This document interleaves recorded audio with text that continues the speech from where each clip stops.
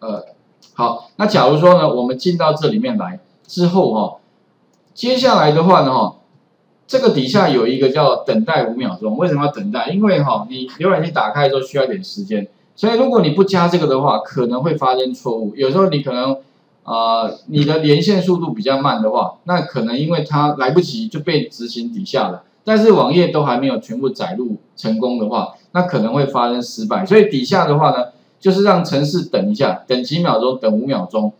那接下来要做什么呢？就是其实有点跟那个之前的方法一样哦，在这个 IE 里面呢哈，去找到什么呢？它里面有个 doc document 里面有一个叫 get element element 就元件，by tag name tag 的话指的是 HTML 网页的那个标签名称。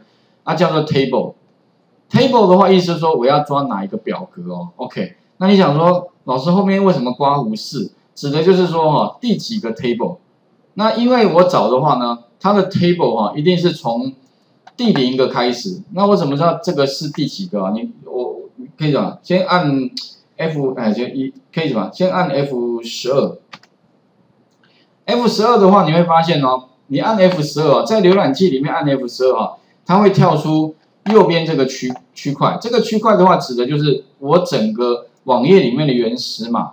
那我怎么知道呢？我那个 table 哈在第几个？其实你可以按 Ctrl 加 F，Ctrl F 指的是寻找，有没有？寻找这边，那你可以怎么打一个 take name 叫 table，T A B L E，table 的话呢，指的就是说呢，我的表格了哈。那我怎么知道是第几个？你会发现啊，如果我输入什么？这个小于 table 的话，请各位看一下，在这个网页里面哈，他会跟你讲说，哦，里面总共会有一，就是目前找到的第一个表格，of seven 呢，七的话呢，表示说这个网页里面总共会有七个表格。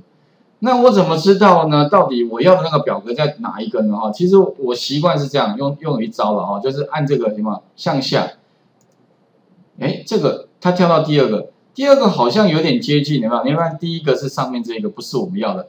第二个好像有点接近，可是特别注意哦，它这个表格哈，有可能是外面的大表格，并不是里面的那一个哦。所以哦，你可以再什么，再摄取一下，在这个再下一个，哎，这个是第三个，再下一个，哎，这个时候呢就跳到第四个了。可是第五个，我看按一下第五个，哎，你会发现哦，其实哈，第四个其实也是它的外面那个表格。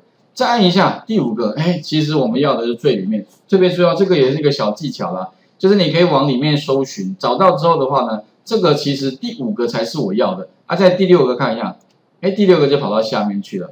第七个呢，哎，就跑出去了，有没有？所以其实这个网页哈，我们主要是要捞什么？捞第五个表格啊。第五个因为编号从零开始，所以我们要的啊，基本上呢会是从第啊这边的话，基本上我要从第。所以啊，我要第几个的话，那刮胡里面就跟他讲说啊，我要这一个网页哈里面的 table 哦，那个标签名称是第五个。第五个的话呢，记得刮胡是从零开始嘛，零就第一个，一二三四，OK。那这个时候的话，这一行的叙述啊，set 这个也是物件名称，也就是我要找到什么，找到那个表格，所以他会把那个表格帮我放在这里，然后在这个表格里面我要怎么样，再把里面的东西抓出来哈。那逐一逐一的把它抓住，所以请各位先试一下，把那个呃第一个哈先开启，干脆用范例档来做好啊。这这一题相对比较困难一点，股市当日行情表。第二个的话呢哈，你们先试试看啊。我刚刚试了一下那个从 Web 好像会失败啊。如果会失败的话，请各位哈先试着哦从那个云端白板里面的第四个单元啊，雅虎股市啊，稍微看一下啊。里面的话，我刚刚是用这一段程式嘛。有没有雅虎股市这一段？好，啊先试试看好了。那其实这一段呢，如果把它贴上去的话，我先乱一下给各位看哦。如果我不要重 Web 的话，然后我先执行这一段哈，因为这一段把它执行啊，其实就是水泥哈，把水泥抓到这边来哦，执行给各位看一下。它等哎，我这边改成三秒啊，因为等等五秒可能有点比较久。然后再把里面的 table 抓下来之后，帮我把它丢到这边来。对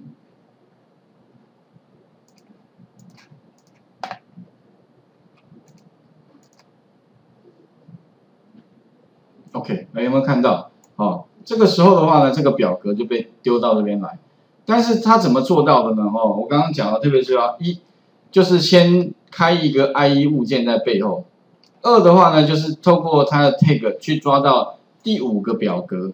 第五个表格里面呢，那他去抓取我要的东西。那细节部分待会再看，主要是透过什么？里面的 TR、TD 有没有？上节课跟各位讲过嘛，然后把里面的东西逐一逐一的跑个回圈，自动帮我放过来。OK。